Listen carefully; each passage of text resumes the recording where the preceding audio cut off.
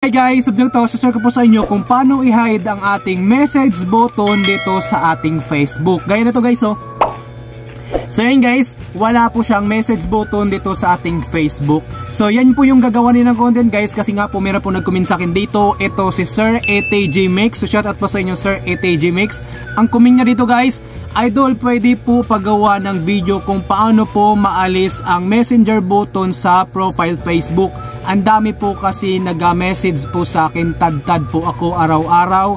Thank you po, God bless po. So yun guys, yun po yung comment sa atin ni Sir ATG Mix. Gusto niya po niya i-hide ang kanyang uh, message button sa kanyang Facebook po para po maiwasan yung mga daming message sa kanya. So ito ata si Sir guys, umiiwas ata siya sa mga nagtatanong sa kanya. So sa akin, wag naman po tayong ganon. Pero nasa inyo naman po guys kung talagang kayo iiwas sa mga katanungan dahil ang dami pong nagme-message dahil gusto nyo po ay may privacy. So yan yung sinasabi ko, mas maganda talaga pag meron tayong Facebook page at doon po tayo nagbablog para meron tayong privacy dito. So yan yung gagawa ng content guys, kaya panoorin nyo tong video to hanggang dulo para malaman nyo po kung paano natin gawin niya. At bago mangyari yon mag-shoutout na naman tayo dito guys. So shoutout, madaling shoutout lang tayo dito baka kasi mayroon na namang naiinis, mayroon na naman tayong basher dito. So dito guys, shoutout po kay Kois Don TV. Shoutout sa inyo, Kois Don TV. Ang comment niya dito guys, galing mo talaga, Dol. Very informative ang mga content mo pa-shoutout na din. So shoutout po sa inyo sir. So maraming salamat po sa inyong suporta. Napakaganda ng inyong komento. At meron pa po dito guys, ito si Wendell's Journey. So ito guys, si Wendell's Journey, kapwa ako ito Bisaya. So shoutout po sa inyo dyan. Sir Wendell's Journey. So wala siyang sinabi dito kung saang lugar siya sa Visayas o Mindanao. So shoutout po sa dyan sa mga taga Visayas at Mindanao na mga kapwa ko Bisaya. So maraming salamat po sa inyong suporta dito sa ating YT channel. At ito pa po guys, Sir DIY PH. So shoutout po sa inyo Sir DIY DIY Ang comment niya dito guys, Bisaya pug ko idol, taga barangay Paning Butuan City idol, pa shout out idol Subing Subing family. Yon shout out po diyan sa mga family Subing Subing, shout out po sa inyo at dito rin po sa mga taga Butuan City.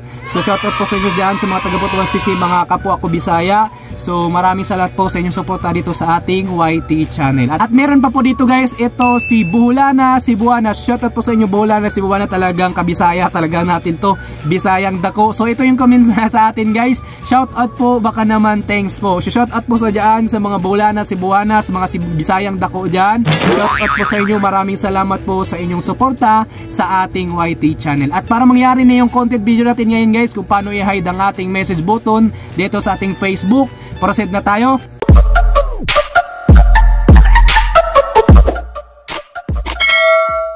So proceed na tayo guys. So ang i-share ko po sa inyo dito guys ay dalawa po. So dalawa yung i-hide natin dito. Ito yung Facebook profile account at itong Facebook page po. Pero ang unahin ko dito guys ay yung Facebook page po natin kung paano i-hide yung uh, message button dito sa ating Facebook page. Kasi nga po yun po yung mga request ng karamihan natatakot ata po silang maitanungan ng mga karamihang followers o viewers po nila. So yun guys, wala po tayong magagawa kung gusto po nalaga nila ma'am answer na mag-hide po sa kanilang message button. So unahin po na natin dito guys ay yung ating Facebook page. So dito guys sa Facebook page sa'yo ha, punta ako dito sa aking Facebook. And then dito guys, ito yung aking Facebook profile account. So isi-search ko muna yung aking Facebook page kung makita ba talaga ang kanyang message button at mame-message ba ito. So guys, so ito na po ang aking Facebook page. Ito po, Kuya Chris TV. So, pasupport naman po guys sa ating Facebook page, Kuya Chris TV. So, dyan guys, kung nakikita nyo po, kung meron pong mag-visit uh, po sa ating Facebook page, ay makikita po dyan yung message button. Nakikita nyo dyan. And then, yan po guys, yung aking Facebook page. So, inuulit ko, pasuporta naman po sa ating Facebook page po guys. And then, nakikita nyo dyan guys, nandyan po ang message button pag tayo po ay nagbi-visit po sa ibang mga content creator sa kanilang Facebook page. So yun guys, back tayo. Sunod naman natin gagawin guys, ganito ang gagawin natin. Kung yun po ay naka-hide naman, ganito naman ang gagawin natin. So, Kuya Chris, tingnan natin guys, kung yun ay naka-hide doon sa profile natin, tingnan naman natin to kung uh, meron pa bang makikitang message button. So, ito guys, Kuya Chris, ganyan lang po. So, hindi po natin ipo-full name. So, Kuya, Kuya lang, din makikita na po yung Kuya Chris TV select tingnan natin so yun guys wala pa po tayo sa profile, nakikita na po dito sa following yung message icon. Kung nakikita nyo po dyan yung message icon guys, nakikita na po sa gilid. Wala pa po doon sa ating profile. So click natin tong ating name para mapunta sa profile. Yan na po yung profile natin yung message. So yun guys, ibig sabihin dalawa po ang i-hide natin dito para hindi po tayo ma-message talaga. Kuwari, ito lang yung ma-hide natin dito sa ating profile, itong message button. So dito naman ay nakikita naman po ang kanyang message, itong following tabi niyan. So mami-message pa rin po tayo. So yun guys, ito po ay para lang po ito sa Facebook page muna ha. So mamaya na yung ating Facebook profile account. So ganito ang gagawin natin dyan para ma-hide natin yung ating message. So dito guys, click natin to. Magta-transfer muna tayo dito pupunta sa ating uh, Facebook page. Oh, punta ako sa aking Facebook page guys. So ito na yung gagawin natin. Nag-transfer na ako sa Facebook page ko dito para po ma-hide po natin ang ating uh, message button dito. And then nandito na ako sa aking Facebook guys. Click na natin tong tatlong line sa may gilid sa may taas. Itong menu. Then click name para mapunta tayo sa ating profile. Sunod natin gagawin guys. Itong tatlong tuldok sa may gilid sa may gitna. Click nyo po yan. And then dito guys, sunod natin gagawin itong edit action button. So click nyo po yung edit action button. Medyo mahina ang signal ko guys. And then, ito na siya guys. So nakikita nyo dito, nandito na po yung ating buttons do sa ating profile. So makikita po talaga dito, watch now, and then yung message. So nakikita nyo po dyan. Ganito ang gagawin nyo po dyan guys. So kung gusto nyo pong mawala doon sa inyong profile yung message button, i-remove nyo po yung message. Or i-edit nyo na lang po. So yun guys, nakikita nyo po dyan ay nakasilik po siya sa message para po ma-view po doon sa ating uh, page o ating uh, Facebook yung uh, kanyang profile. So yung top button niya makikita po doon. So dito guys unselect natin tong message. And then dito guys yung what's now lang po ang nandyan. Then click save. Antay tayo So dito guys, nandito na siya. Yan po ay naka-watch now na lang. Nawala na po ang ating message button. Sunod naman natin gagawin dito. Back tayo guys. Then, back. And then, dito naman tayo sa ating menu. Scroll down tayo. Punta tayo sa ating settings. Yun guys, yun po ay doon sa ating profile. Pag once na uh, ma-unselect na po natin, ma-remove yung uh, message doon, yung button, so hindi na po siya makikita. Yung sunod naman guys, yung tabi doon sa following ang gagawin natin. Click yung page settings.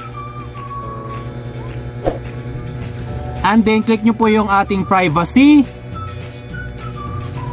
So dito na tayo guys, ay scroll down tayo dito sa ating privacy shortcuts, then click nyo po dito itong messaging. So dito guys, i-select nyo po yung off. Select off. And then pagkatapos na naka-select off na po siya guys, back tayo. Back, back, back, back. Then i-check na natin to guys. Back na tayo doon sa ating Facebook profile account na main account natin. So aalis na tayo dito sa ating Facebook page. Yan, i-check na natin guys kung makikita na ba yung um, kanyang message button tsaka doon sa message icon doon sa ating following na katabi. So dito guys, search na natin. So dito guys, unahin natin doon sa ating profile yung message button. Tingnan natin.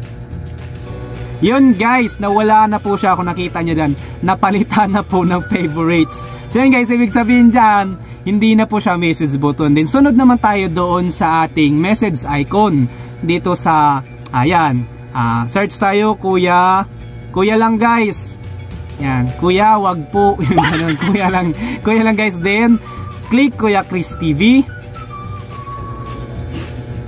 Yon, kung nakikita nyo dyan guys, wala na po yung ating message icon. So, ganun lang po siya guys, kadali din. Sunod naman natin gagawin, doon naman tayo sa ating Facebook profile account, main account Facebook. So, back na tayo guys, dito na tayo. Ito na yung aking main account guys. So guys, titingnan muna natin yung ang kanyang ating Facebook profile account kung ito ba ay mabuview yung ating message button. Click natin tong tatlong tuldok sa may gilid, then click nyo po yung view as. Ito yung magbi-visit yung mga viewers, followers natin guys dito sa ating profile. Ito yung makikita nila. Yun guys, so nakikita nyo po dyan, katabi po ng follow ang ating message button. So yun guys, kung gusto nyo po mawala yan, ganito po ang gagawin Pero confidential po siya guys. So back tayo. So isasabihin ko na lang po sa inyo dito. Ang gagawin natin dito guys ay pupunta tayo dito sa ating edit profile po natin dito. So dito tayo sa ating edit profile guys. Click po natin itong about info. So dito guys nakikita nyo na po dito ang ating ano uh, ang aking profile. Dito guys ang ating i-edit dito ay ang ating basic info. So dito guys, confidential po talaga ito guys kasi nga po dito sa ating main Facebook profile account, hindi po siya allowed talaga na ma-hide itong ating message button. Maliban na lang po guys kung gusto nyo talagang i-hide to, pero ito po ay hindi na po for monetization. Hindi na po ma-monetize ang ating Facebook account. Kung ayaw nyo po talagang ma-message ng mga followers, viewers nyo po. Kung ayaw, mong, kung ayaw nyo matanungan, so hindi naman na po ito magiging monetize ang ating Facebook account. Hindi na po siya pwedeng pagkakitaan. Bakit po?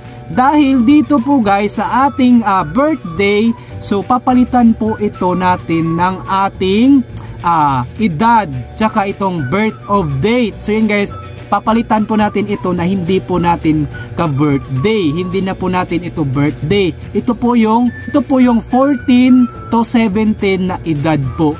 14, 15, 16, 17. Yan lang po yung inallow dito na makapag-select dito sa birthday at ito po ay mawala na po yung message button. So yun guys, alam naman po dito pag underage 18 pababa, 17 pababa. So hindi po inaalaw ni Facebook yan na maging monetize ang Facebook account. Hindi pa po pwedeng pagkakitaan. So po yun po yun guys. Hindi ko na po ito i-edit guys. Kasi na po sinabi ko na po sa inyo na sa inyo po kung gagawin nyo po dyan na eh, anong year yon na magiging 17 to 15, 16, uh, 14 kayo, lagay na lang po dyan. Yun nga lang po guys, pag mawala yung inyong message button dyan sa inyong profile account, ayun naman po ang mangyari. Hindi naman po ito pwede natin pagkakitaan dahil illegal age. So, yun po yan guys. Hindi ko na po siya isi-set. Baka sakali hindi naman po ako sa 17, 14 guys eh.